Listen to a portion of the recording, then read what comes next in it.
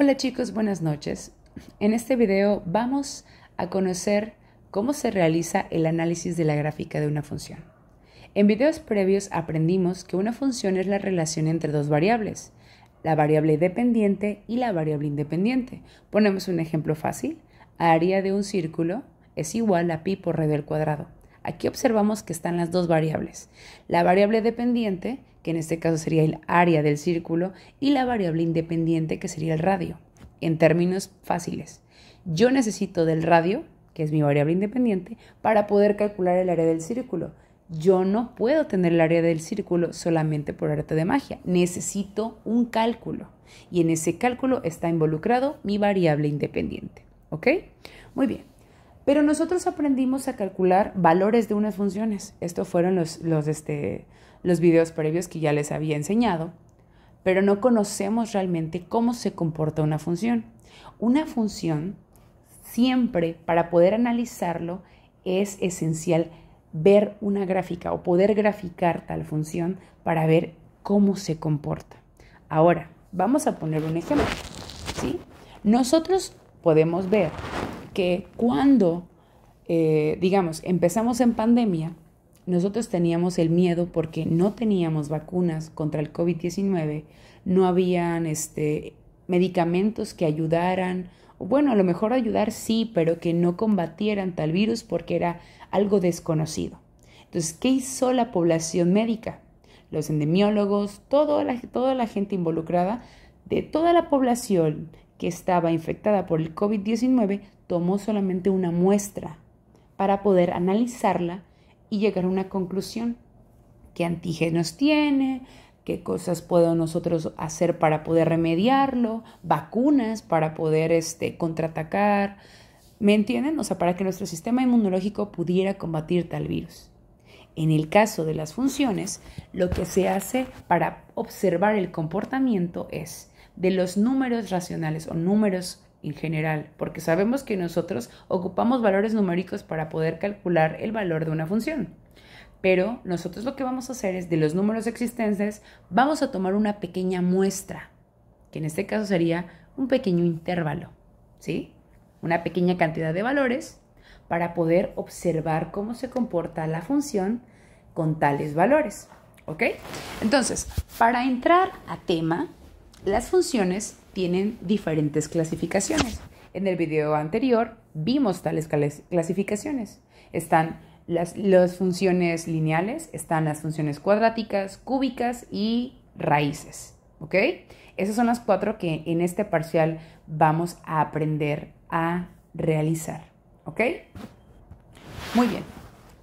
La función que ven en pantalla, y igual a 3x menos 1, es denominada una función lineal. ¿Por qué? Fácil.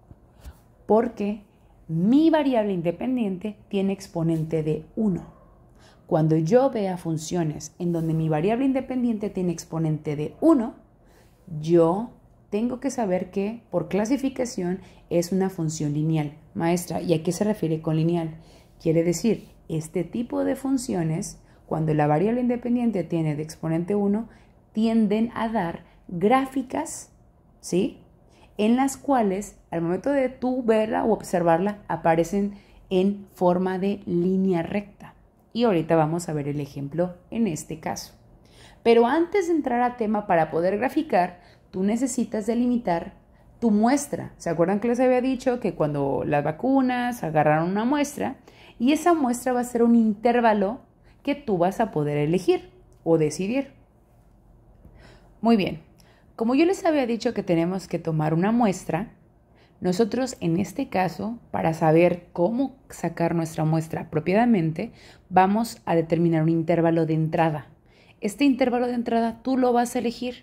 Mi recomendación, trata de que tu intervalo contenga valores negativos y valores positivos.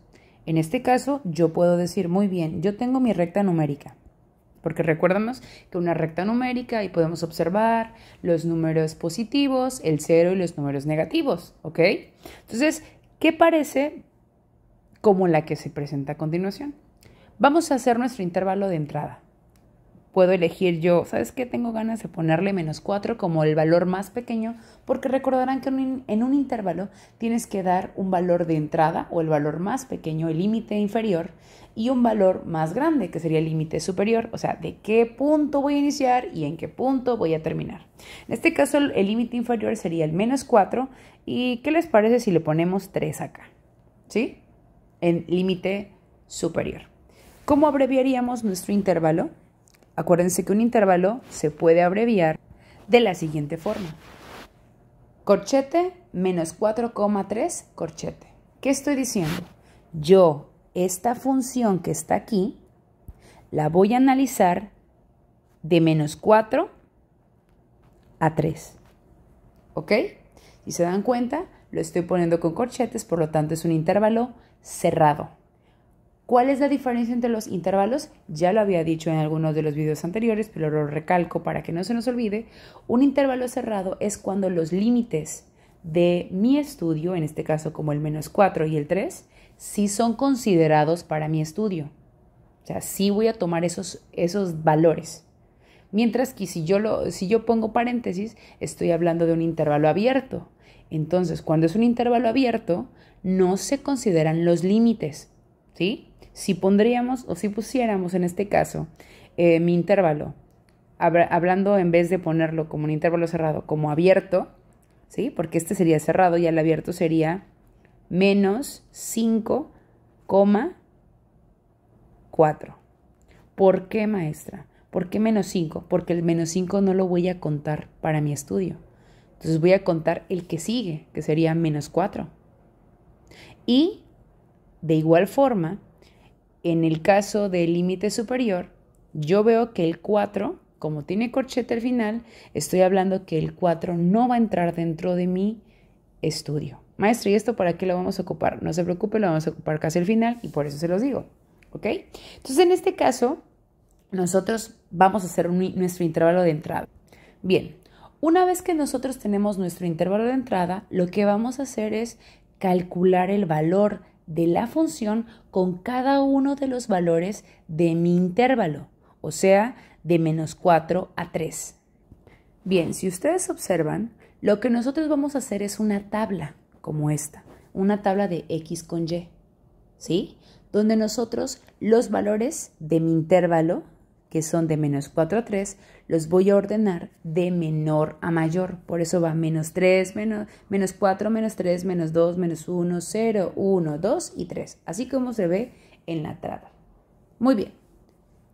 Una vez que tú ya ordenaste tus valores de x, lo que vas a hacer es con tu función inicial, que es esta que está aquí, vas a calcular cuánto vale la función al ponerle a la variable independiente los valores que están en la, en la columna anterior.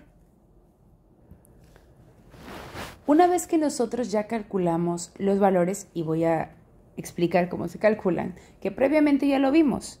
Si ustedes se dan cuenta, nuestra función de 3x menos 1, lo que hice fue sustituir el valor de x. Si ustedes se dan cuenta, en nuestro primer, eh, digamos, en nuestro primer resultado, a 3x menos 1 en lugar de x puse menos 4. Entonces luego ocupé aritmética. 3 por menos 4 es menos 12. Menos 12 menos 1 es menos 3. Y así tuvimos que hacer cada uno de los valores que yo elegí poner en mi intervalo para este estudio, o sea, para este, esta muestra. ¿Ok? Una vez que tú obtienes los valores de y, Déjenme recordarles algo. Como dijimos que vamos a graficar, quiero que observen algo. Como tenemos valores de x y y, ya obtenemos un punto que podemos a poder graficar en un plano cartesiano o en un eje de coordenadas también. ¿Ok? Que son estos. Ok, una vez que nosotros ya definimos cuáles son los puntos, que si se dan cuenta, técnicamente es valor de x valor de y y así obtienes tu punto, el cual vas a graficar en una recta numérica. Nosotros, al momento de graficar, y quiero que lo vean ustedes, observamos que da una línea recta. Fíjense, el primer punto era menos 4, menos 3.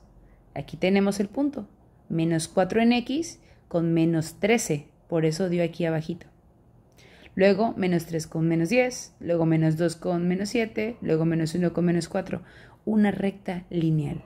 Por eso se dice que cuando una función tiene mi variable independiente exponente de 1, siempre me va a dar una línea recta. Maestra, siempre va a dar una línea recta así como está la forma. No, también te puede dar hacia el otro lado. O sea, me refiero, puede ser de una forma este, vertical, horizontal, así transversal como está este, este, en esta gráfica, ¿sí? Pero siempre va a ser una línea recta, ¿sí? Entonces, una vez conociendo el tipo de gráfica, voy a hacerles ver algo y se los había comentado. Ok, lo que vamos a hacer nosotros es delimitar el intervalo real de la función. ¿Sí? Recordamos que hace un momento nosotros dijimos que ocupábamos un intervalo de entrada. Era una muestra. ¿Sí? De todos los números existentes, solamente agarré una pequeña cantidad, una muestra, que fue de menos 3 a 3, para ver cómo se comportaba esa función. La pregunta sería, maestra, ¿son los únicos números que les puedo dar? Si tú ves la gráfica y la analizas, no creo. Porque si tú llegas a observar, a medida que vayan aumentando los valores de x, recordemos que el eje de coordenadas x es aquí y aquí es el eje de coordenadas de y, al ir aumentando valores o haber puesto más puntos o más valores, en vez de hacer de menos 3 a 3 o menos 4 a 3 del intervalo de entrada, lo hubiera dado de menos 10 a 15. De todos modos, la gráfica yo veo que en este caso va subiendo. A medida que le voy dando más valores o valores positivos a la X, o sea, que vaya hacia este rumbo, yo veo que la gráfica, o que en este caso la línea va, pero de, de subida. ¿Ok?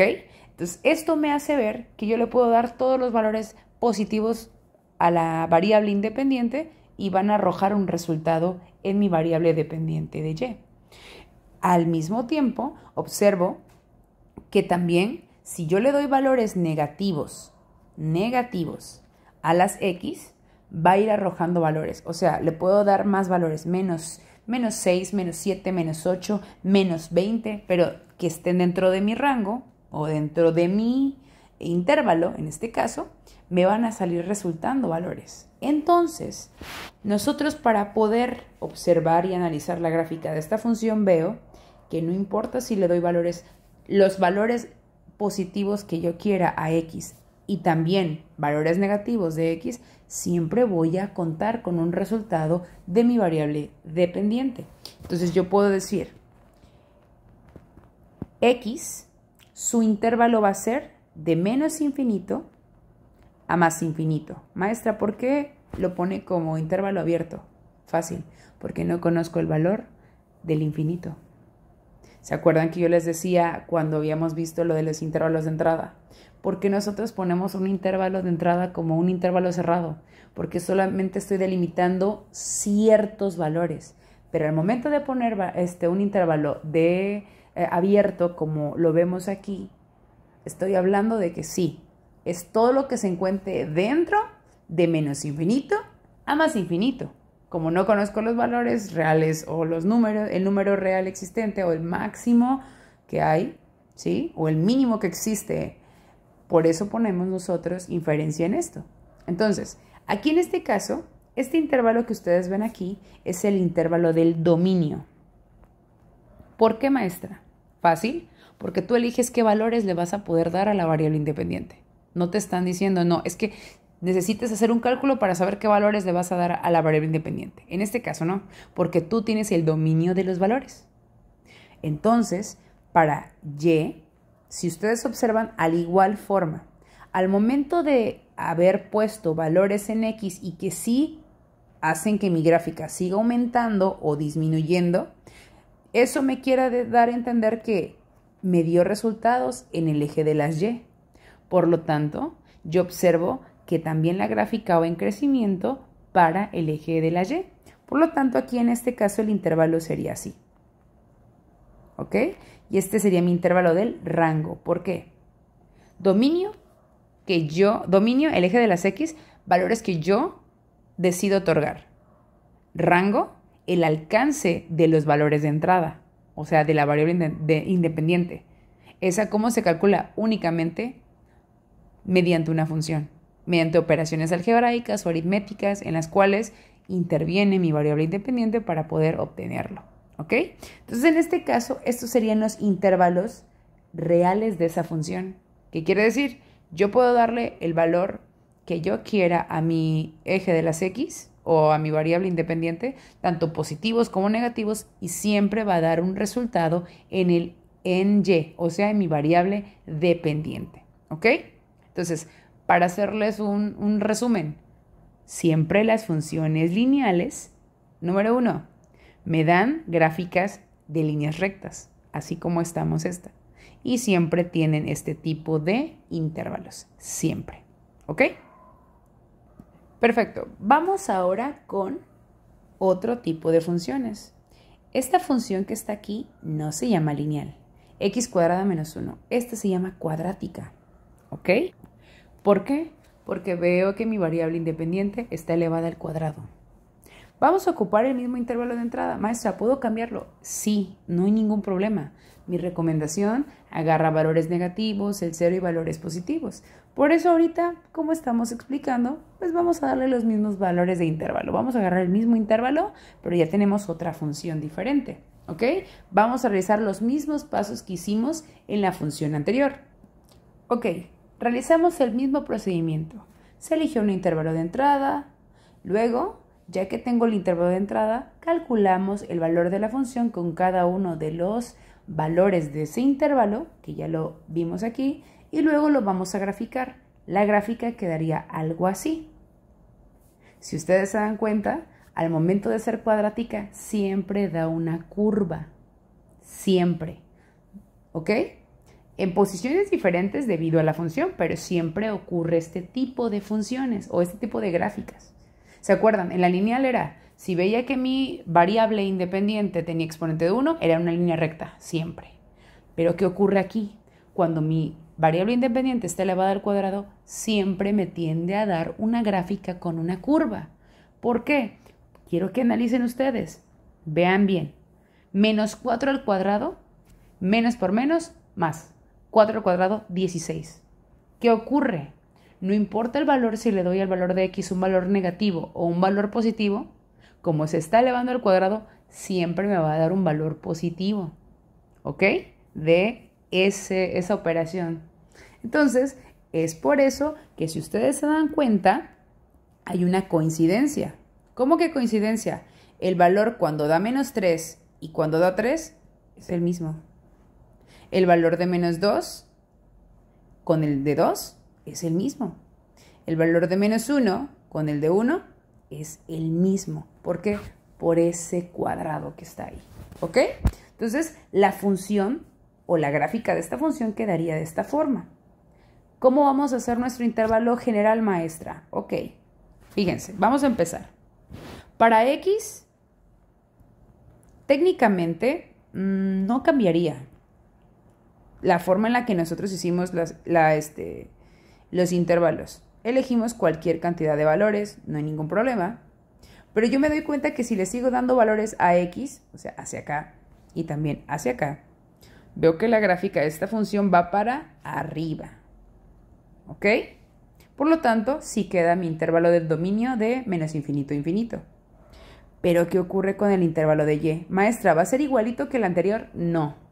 ¿Por qué? Analiza la gráfica. ¿Cuál es el valor más pequeño que se obtuvo de Y? Este valor que está aquí. En mero donde fum y luego barra apuntar, ese es el valor más pequeño que tuvo Y. Más pequeño. Porque de aquí yo veo que la gráfica va para arriba. Entonces, ¿qué hacemos? Vamos aquí a los valores que nos dieron y digo, muy bien, ¿cuál fue el valor más pequeño que me dio Y? Menos 1. Por lo tanto, aquí yo voy a poner, y aquí lo había puesto erróneamente, voy a poner intervalo menos 1. Maestra, ¿por qué puso cerrado de corchete? Porque yo no veo que haya valores más pequeños que menos 1. O sea, no me dieron. Entonces ahí estoy cerrando diciendo, ese es el último valor que va a existir de y, el más pequeño, en esta función. Pero como yo veo que de aquí va para arriba y no sé hasta dónde va a parar esta función, aquí sería más infinito.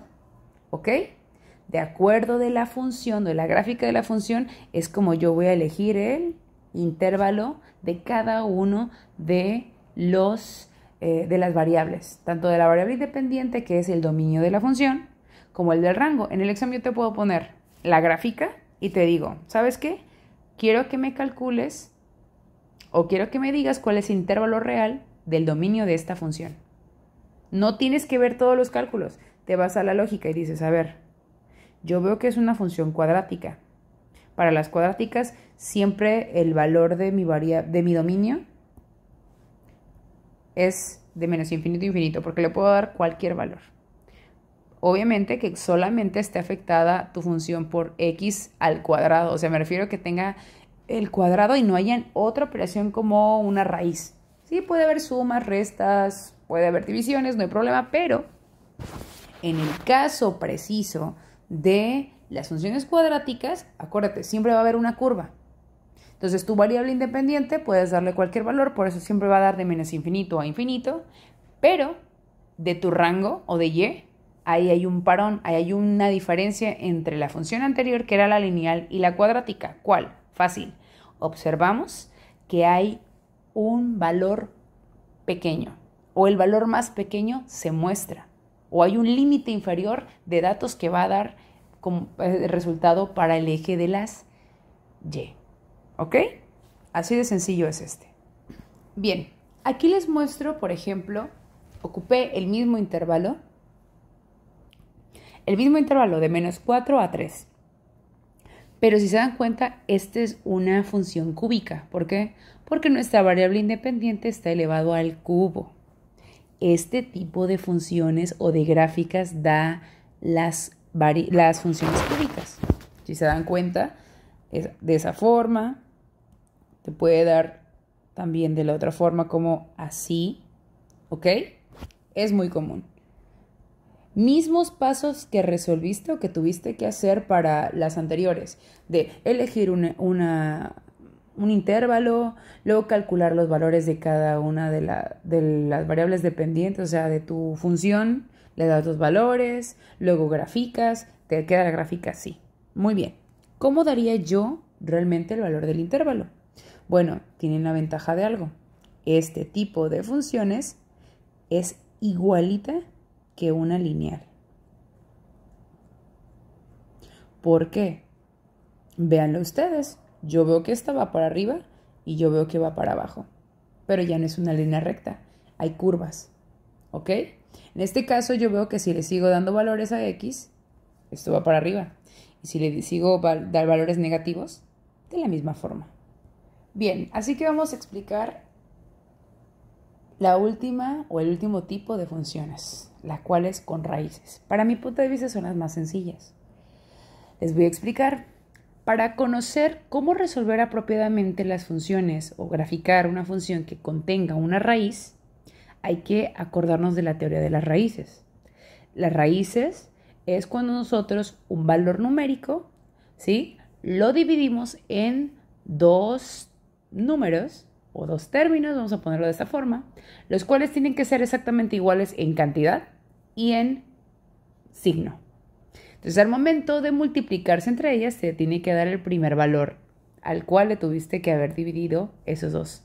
En otras palabras, tengo 9, raíz de 9 es 3 porque yo sé que 3 por 3 me dan 9. Si se dan cuenta, es misma cantidad que es 3 por 3.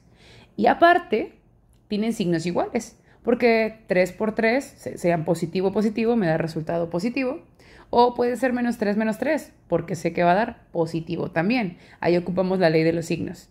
Signos iguales, si los multiplico, me dan positivo. Signos eh, diferentes me dan negativo. Pero ¿qué ocurre aquí? Regla o ley que tenemos que saber de las raíces. Para las raíces no puedes jamás sacar raíces negativas. Si tú en calculadora intentas poner menos raíz sacarle raíz a menos 4, así tal cual, te va a marcar error. ¿Por qué? Porque no existen raíces negativas. No existe la posibilidad de que dos números con el mismo signo te den negativos. Jamás. Que yo sepa, signos iguales, positivo. Más por más, más. Menos por menos, más. Entonces, al no poder, aquí te da como que un, este, no advertencia, pero te, te da una ayuda para saber hasta dónde vas a poder calcular valores de X. O hasta dónde vas a encontrar valores de X o hasta dónde vas a calcular valores de X. En este caso, yo al momento de querer graficar funciones con raíces, fíjense qué hago. Vamos a acordarnos, les dije que no pueden haber raíces negativas. Entonces tengo que saber cuál es la raíz más pequeña que existe. En este caso es la raíz de cero. Yo sé que la raíz de cero la pones en tu calculadora, te va a dar cero, pero es un valor. ¿Ok? O sea, sí existe.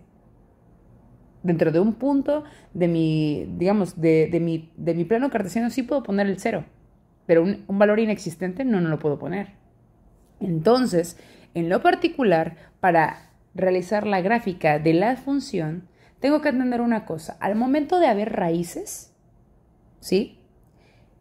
En tu gráfica jamás vas a encontrar valores de Y en la parte negativa. ¿Qué quiere decir? Aquí tengo mi plano cartesiano. Yo, con funciones que tengan raíces, jamás voy a llegar a tocar ni este ni este punto, o ni eh, en esta sección. ¿Por qué? Porque como les expliqué, la y se obtiene de sacarle la raíz a x menos 2. Pero yo ya, yo ya sé que no pueden existir raíces negativas, por lo tanto nunca voy a tener una respuesta de un valor de y negativos. Entonces no voy a irme a la parte de abajo de mi plano cartesiano, ¿ok? O a estos dos cuadrantes que están ahí. Pero lo que vamos a encontrar nosotros es ver hasta dónde va a dar un resultado. Y yo les había dicho que es encontrar la raíz más pequeña que existe, es raíz de cero. ¿Ok? Entonces, lo que vamos a hacer nosotros, lo que vamos a hacer nosotros es encontrar qué valor le tengo que dar a x, que está en, este, en esta función, voy a ponerle la función bien marcada para que la vean, qué valor le voy a dar a x ahí para que al restarse con 2 me dé 0. Es muy obvio, ¿verdad? Yo sé que si a y, perdón, que si a x, voy a poner la función como lo hemos visto, mi función con respecto a x, pero en este caso le voy a poner, le voy a poner valor de 2. Yo sé que si le doy el valor a x de 2, positivo, me va a dar raíz de 0 igual a 0. Entonces tú dices, muy bien, ya conocí qué valor de x me va a resultar 0 para mi variable dependiente.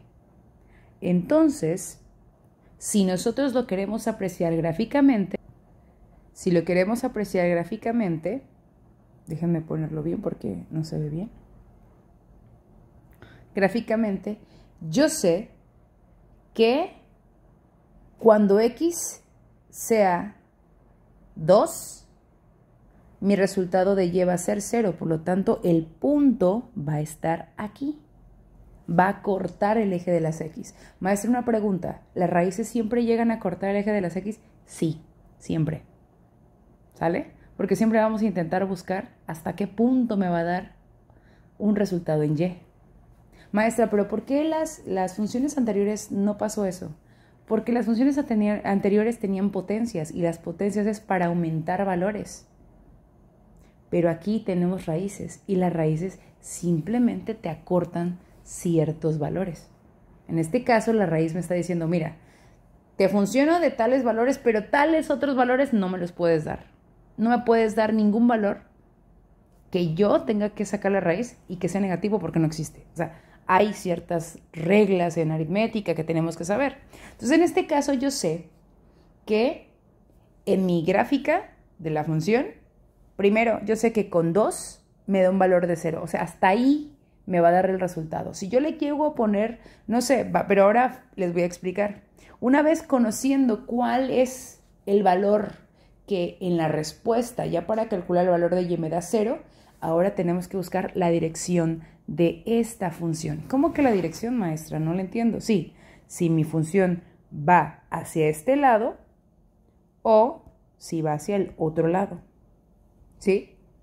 Muy bien, y ahora, ¿cómo saberlo? Les voy a enseñar mi fórmula más sencilla de hacerlo. Lo que van a hacer ustedes es, tú ya sabes que con el número 2 te da 0. Intenta hacer, sacar la función, el valor de la función con un número antes del 2, que sería el 1, y con un número después. Vamos a sacarlo. Primero con un número antes. Si le pongo valor, vean dónde está la x, de 1, aquí que me da menos 1. Esto no existe. Entonces, ¿qué quiere decir? Mi función no va a ir para acá. No va a ir, ¿por qué? Si le pongo valor de a x de 1, no existe resultado para y. Por lo tanto, esto me hace ver a mí, ah, entonces si yo le pongo valor de 3, 3 menos 2 es igual a raíz de 1. Ah, mira, raíz de 1 sí tiene raíz, es 1. Por lo tanto, yo sé que mi función va así al otro lado. ¿Qué quiere decir? que va a ir 3, 4, 5 y me van a dar valores para graficar. Entonces, ¿esto qué me ayuda? A que tu intervalo de entrada sea más exacto y que sea más real. Entonces, ¿tú qué vas a hacer? ¿Yo qué haría? Como yo ya observé, ah, bueno, yo ya sé que este es mi límite inferior. Por lo tanto, voy a poner intervalo, eh, o bueno, corchete, porque es un intervalo cerrado, en 2 y vamos a darle otros valores. ¿Les parece si les damos de aquí al 7? ¿Sale? Y vamos a graficar. Recuerden, vamos a hacer el mismo procedimiento de siempre. Muy bien, aquí con la ayuda del Excel hice la gráfica. Fíjense, los valores que le di a X a partir de donde yo sé que me dio 0, que fue el valor de 2. ¿Sí? Y si ustedes observan la gráfica, quiero que la anoten, ¿ok? Si, yo le llego a dar valor de 1, ponle que aquí le doy 1. Vamos a, vamos a analizarlo. Vamos a darle valor de 1. No 21, vamos a darle 1 nada más. ¿Qué ocurre? Me da error. ¿Por qué? Porque no hay raíces negativas. ¿Ok? Entonces, en este caso nosotros observamos la gráfica. Quiero que la observen. Aquí notamos que en el punto 2, exactamente en el punto 2, ¿sí? Ahí es donde mi, mi, este, mi función empieza a dar valores para y. Pero yo noto que no puedo ocupar ni el 1, ni el 0, ni ninguno de los otros valores negativos porque sé que me va a dar error en la calculadora o no me va a dar un resultado y no voy a poder graficar. Entonces aquí vamos a la idea de no a todas las funciones les puedo dar todos los valores. A las raíces, y es y mucho más razón con las raíces, tienen esta, este freno de mano, yo le pongo de esta forma. ¿Por qué? Porque al momento de saber que no existen raíces negativas, indica que hay ciertos valores que no pueden formar parte de mi estudio. Ahora, ¿cómo yo pondría la función? O bueno, el intervalo real de la función. Es muy fácil. Fíjense, para X, yo les digo de una forma, ubíquense, ¿en dónde está? ¿Qué punto es ese? Si yo veo el punto aquí, el primer punto, sería 2,0. Este es de X y este es de Y, ¿ok? Entonces yo aquí puedo poner muy bien, como aquí inicia mi función, aquí empiezo a obtener valores de Y, pero yo veo que va para allá. ¿Por qué? veo que crece hacia más infinito en x. Entonces aquí yo puedo decir muy bien, empieza en 2 y se va a más infinito. Vámonos con las y. Con las y, agarra el valor que te dio aquí. Sabes que el valor más pequeño que se obtuvo en y, ¿cuál fue? 0, porque es este que está aquí. Y el valor más grande, como veo que está aumentando hacia arriba, es más infinito y ya terminé. Eso es todo. Así se analizan las gráficas de estas funciones. Mi recomendación, siempre sigan los pasos. Número uno, determina qué, qué función es. Si es lineal, si es cuadrática, si es cúbica o si son raíces. Vete imaginando la gráfica. Lineales es una línea recta. Cuadráticas de cuadrado es una curva. Cúbicas es una curva, pero es una como media curva, se parece como a la lineal, como que tiene una parte lineal y una parte cúbica. Sí, Pero acuérdense, la cúbica se comporta igual que la lineal en los intervalos. La gráfica obviamente me da como si fuera una S, algo así medio raro, pero sí, esa es la cúbica.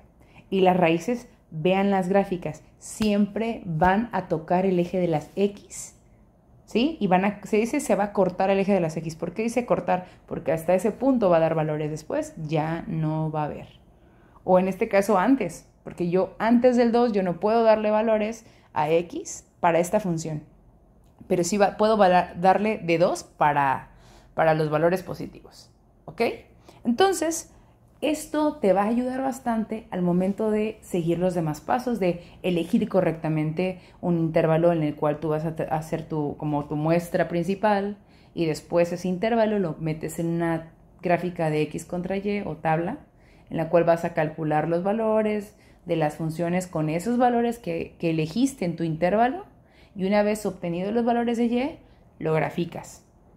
Y una vez graficando, checas la gráfica y te vas acordando del estilo de intervalos de las gráficas.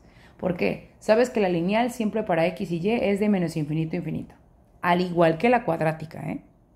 Otra cosa, que la, eh, perdón, que la cúbica, no cuadrática, cúbica, que la función cuadrática siempre me va a dar una curva y para x siempre va a ser de menos infinito a infinito, pero para y va a ser el valor más pequeño en donde se va la curva, hasta donde llegó la curva, ¿sí? Y el valor mayor sería hacia dónde se va la curva, o sea, hacia a la dirección de la curva, si es curva hacia arriba o es una curva hacia el lado, porque hay diferentes tipos de curvas, ¿ok? Y obviamente tenemos esta gráfica que es de una función con raíz en las cuales vemos que siempre nos va a dar este estilo de gráficas. ¿Cuál? En donde mi línea corten el eje de las X o ahí inicia o ahí termina. ¿Ok? Y eso va a ser todo por el video de hoy. Si tienen dudas, chicos, háganmelo saber mediante sus jefes de grupo para que yo pueda este, saber y a ver ideo más ejemplos para que les pueda explicar. De todos modos, nos vamos a seguir viendo la próxima semana y voy a estar explicando de manera presencial cómo se realiza el análisis de la gráfica de la función. Recordando que vamos a tener el examen el día 4 de marzo. Entonces vamos a dejarlos aquí. Yo sé que fue un video muy largo porque pues son diferentes tipos de funciones, pero pues tenemos que aprenderlo. Así que vamos a dejar hasta aquí y espero verlos la siguiente semana. Hasta luego.